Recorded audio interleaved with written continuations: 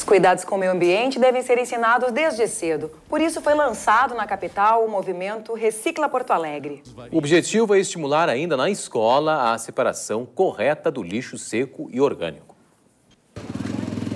Onde antes havia lixo, agora tudo são flores. A frente da escola Ana Knijnik, na zona sul da capital, vivia cheia de carros e de lixo.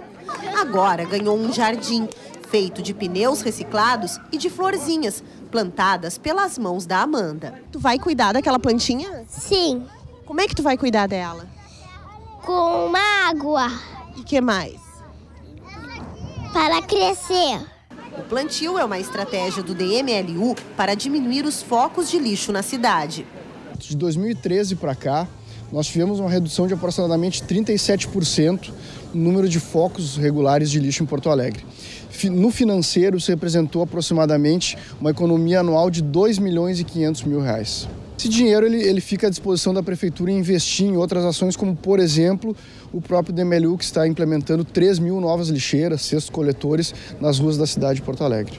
Hoje, 700 famílias vivem da separação de resíduos em Porto Alegre.